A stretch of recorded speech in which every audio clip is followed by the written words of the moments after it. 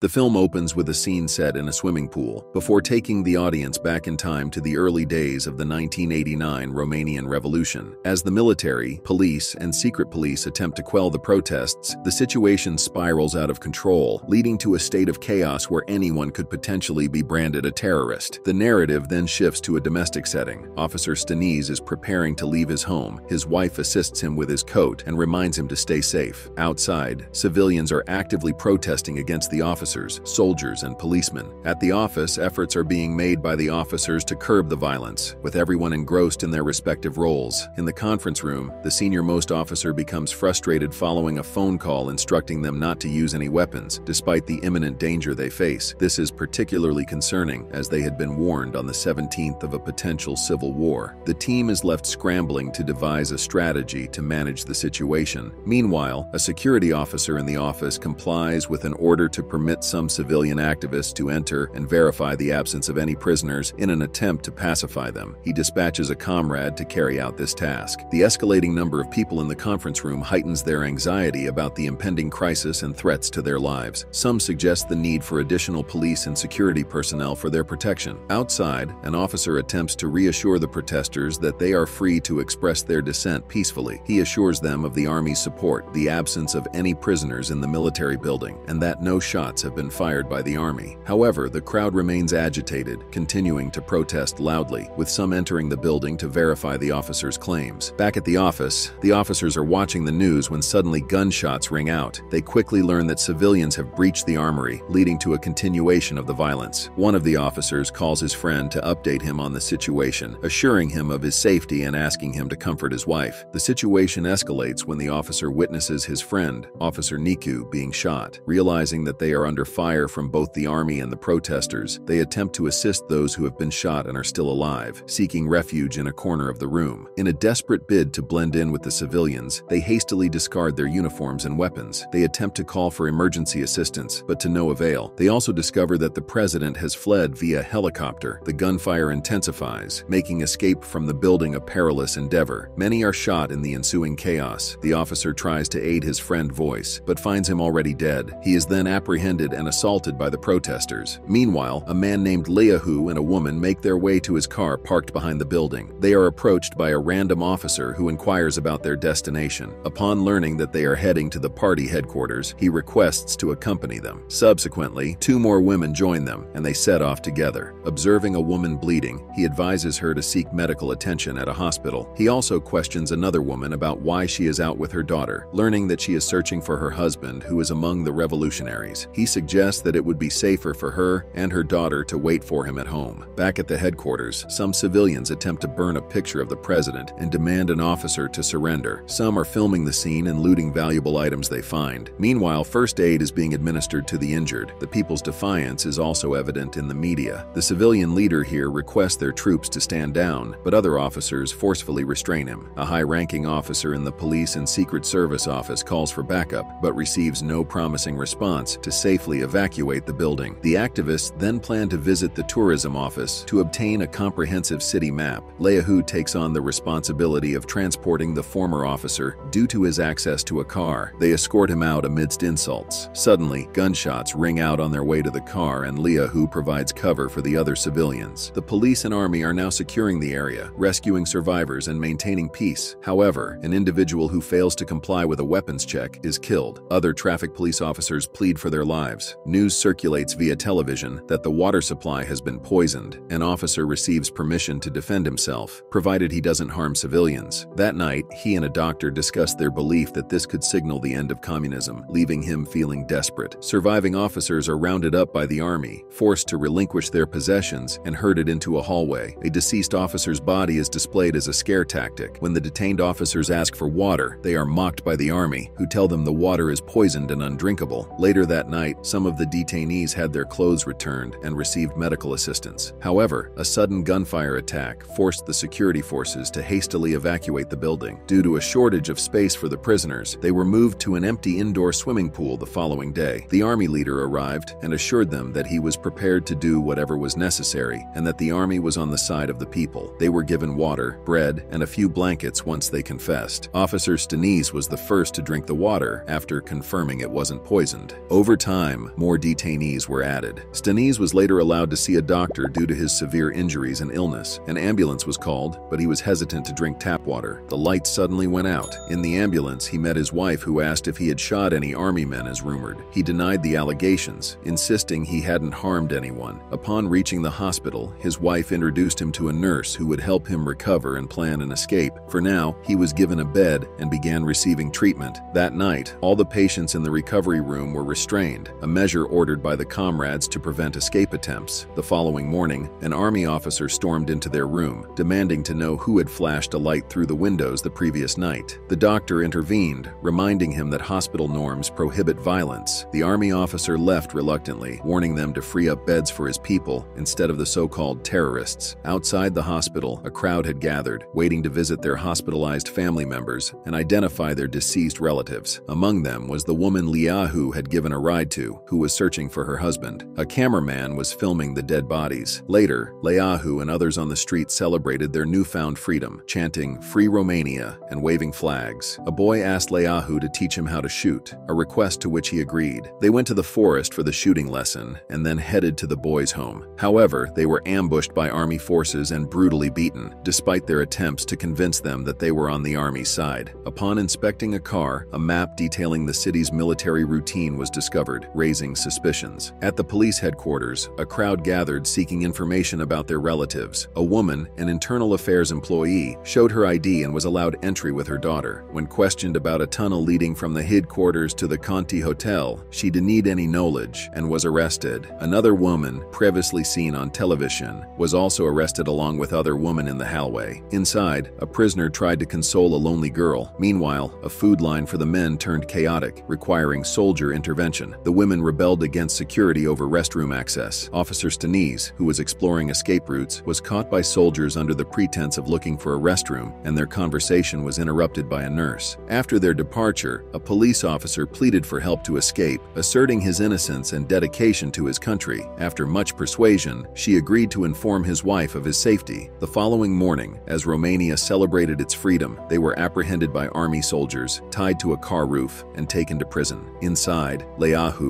a boy, and another man were arrested. The boy, refusing to eat, was comforted by Leahu but protested his innocence, expressing his desire to return home while being mistreated by the officers. The officers convened to plan their escape, debating whether to confess their actions and clarify their mission. Leahu, however, distanced himself from their actions. With Officer Stanise's assistance, they found an opportune moment to escape amidst gunshots. Soldiers brought in a boy suspected of poisoning the water tank, causing the prisoners to turn on each other. Officer M then drew a map, asking the prisoners about their initial locations and movements. After much investigation, they learned of Russian spies who spoke Romanian fluently, shifting their suspicions. A man then arrived, proclaiming his innocence and accusing the others of murder. It was revealed that he was the father of the deceased boy. Later, Leahu approached Officer Stanis, revealing that he had witnessed a shooting. He proposed a deal. If Stanis helped the boy with him, Leahu would keep his secret. Otherwise, he threatened to expose Stanisi to everyone. With a warning, Leahu left. That night, gunfire erupted at the women's prison, prompting everyone to take cover. The next morning, the army leader arrived and ordered everyone to stand as media personnel began filming. The army leader claimed they had captured all the rebels who were disrupting peace and labeled them as activists. This sparked outrage among the group, who vehemently denied the accusations and demanded their freedom, leading to the expulsion of the journalists. A man grieving the loss of his son inflicted harm upon himself. Subsequently, the group discussed their actions and potential escape plans. A distraught boy refused the bread offered by Leahu. Suddenly, the secret police announced that they would conduct investigations. They stated that those who confessed would receive leniency from the government, while those who didn't would be deemed terrorists. The prisoners rebelled, shouting accusations of communism before being led to an investigation room. Upstairs, some of their wives waited anxiously, while others blamed their husbands. In the prison, a boy recognized a man who had previously beaten him for writing Free Europe. When Leahu confronted the man, it led to a fight. Suddenly, gunfire echoed, prompting soldiers to order everyone to lie down. A casualty was discovered outside, leading to a ban on restroom use. The cold, coupled with the inability to relieve themselves, made sleep impossible. When a soldier dropped his gun, Stanise returned it and asked to call his wife as a reward. In the prison, everyone suffered. Stanise gave his blanket to the young boy and questioned his presence. Initially, the boy claimed innocence, but Stanise later discovered that he had also been involved in the shootings. In the women's section of the prison, the inmates inmates were released. Meanwhile, a man, who had lost his son, received a newspaper article about his child and was seen mourning. Some of the prisoners were allowed to call their families, who sent them personal items and tools for Christmas. They fashioned a ball from their socks and began to play. A television was brought in, and they celebrated the new year together in prison. Both the prisoners and the soldiers joined in the festivities, eating, drinking, and having fun. Stanise was then called into the office for an investigation. The officers were suspicious of everything, and Stanise explained that the gun found with him belonged to his friend Voiku. He was asked about a tunnel plan and was promised freedom if he revealed it. However, Stanesi claimed ignorance, and the officer made him sign a paper. Later, he was seen crying in the restroom. As Stanise prepared to leave, he offered his blanket to a young boy who refused it. He then gave it to Sharif and bid everyone farewell. He visited Lucia's family to assure them of his well-being, but they treated him poorly. He returned home, where a radio broadcast played a song of freedom in honor of those who had sacrificed their lives. The narration concluded by stating that many people died in December 1989, and the last prisoners were released on February 1, 1990. And with that, the movie ends.